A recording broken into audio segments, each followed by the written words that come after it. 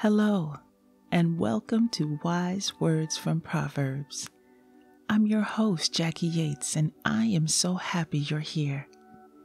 As we do each time here at Wise Words from Proverbs, we read one chapter from the book of Proverbs for each day of the month.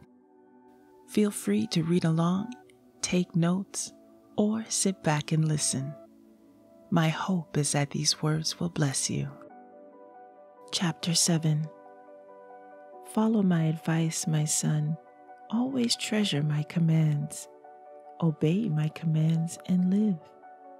Guard my instructions as you guard your own eyes.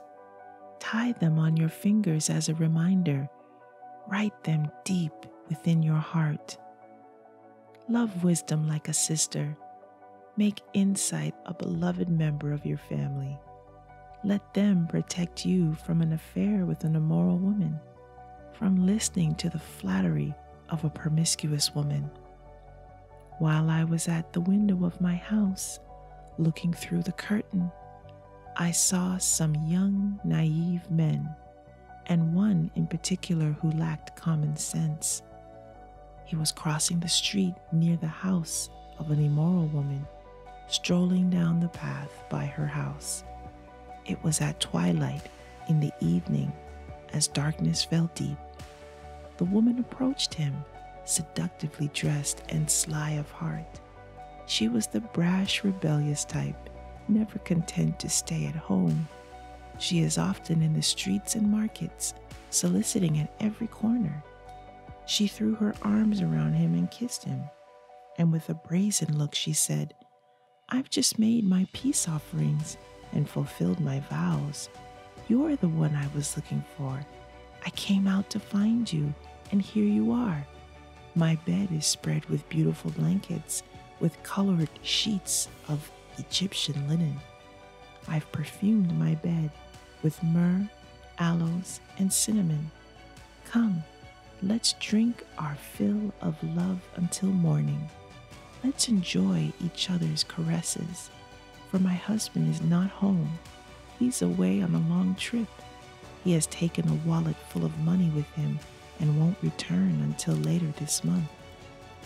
So she seduced him with her pretty speech and enticed him with her flattery. He followed her at once, like an ox going to the slaughter. He was like a stag caught in a trap, awaiting the arrow that would pierce its heart. He was like a bird flying into a snare, little knowing it would cost him his life. So listen to me, my sons, and pay attention to my words. Don't let your hearts stray away toward her. Don't wander down her wayward path, for she has been the ruin of many. Many men have been her victims. Her house is the road to the grave. Her bedroom is the den of death. End of chapter 7. A lot to unpack there, right? And a lot to absorb. Did you notice some verses stood out more than others? Be sure to take note and allow these words to guide the decisions you have to make. Also, the Bible is a book that always explains itself if you ever come across something that is difficult to understand, pray for wisdom and continue studying. Remember, the goal here at Wise Words from Proverbs is simple but important. Make wise choices all day long. If you've enjoyed today's podcast, please leave a review and share this episode with someone you think can benefit from this.